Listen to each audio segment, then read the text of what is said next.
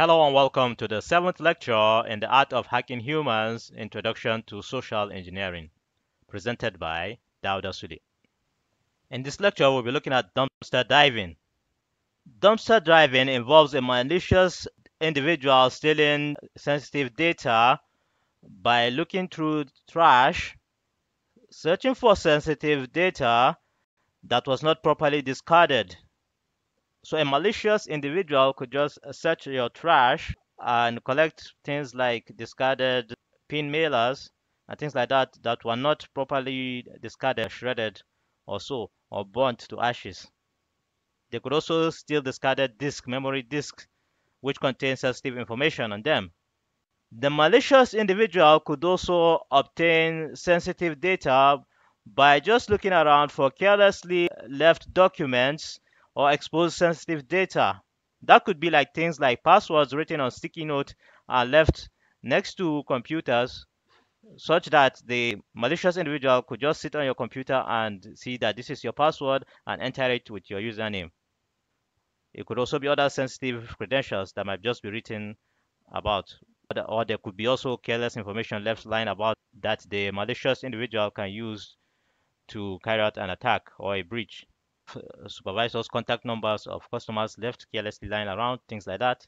Whether in the trash or on the desk just lying around the attacker could just disguise and come in or even come in as an actual employed cleaner a janitor something like that and be stealing information from desks and garbage. Dumpster diving takes advantage of human negligence and emerging sense of security. Of course, it's quite negligent to leave sensitive data lying around or to just discard them in the trash without proper disposal, like shredding or burning, or even at least redacting. That negligence also comes about as a result of a false sense of security. People imagine that their garbage is not a risk area. Proper disposal of documents and data can help reduce risk associated with dumpster diving. This could be through proper shredding, burning, physical destruction or multiple formatting in case of disks, and demagnetization of disk as well. Proper shredding of documents can be achieved by using a shredder that cuts both horizontally and vertically which makes it much more difficult for them to be pieced together after such paper is disposed. Burning to ashes is also an effective way of disposing such documents. And also, if you can burn uh, a disk to ashes, that can also help you to safeguard that this being exposed.